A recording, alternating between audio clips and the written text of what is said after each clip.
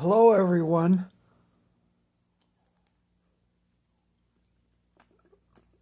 I'm walking around in my apartment asking myself this question. When the early church fathers collected all the circulation letters and put the New Testament together, making choice and decision of what letters were important.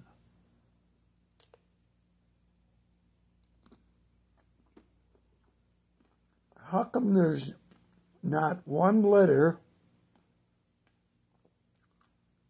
written by Timothy in the New Testament? How come there's not one letter written by Tychicus in the New Testament. Tychicus was sent back to Ephesus at Paul's death by Paul. Come, there's not any letters in the New Testament by Apollos of Alexandria, who became head bishop at Corinth.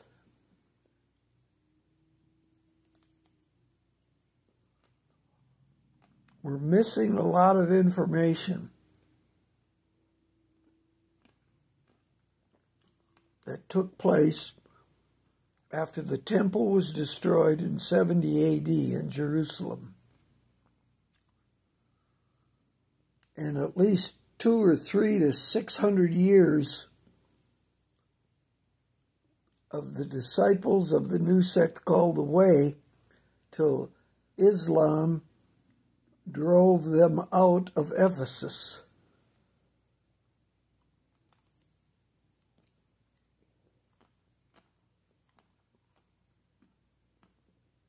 What early church father made the decision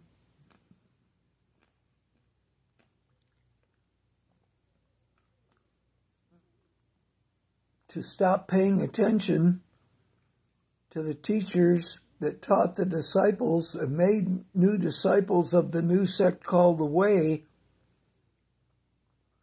from 50 AD to a, at least 150 AD, 100 years. But everything letter wise in the New Testament seems to stop before the second century, seems to come to a halt or a stop between 70 and 99 AD. Why? There's got to be one letter out there that Timothy wrote when he became elder and head bishop. There's got to be one letter out there that Tychicus wrote after the death of Paul. Why?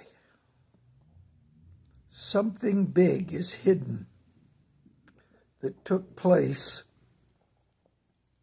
from 70 AD to 110 AD. Give that some thought.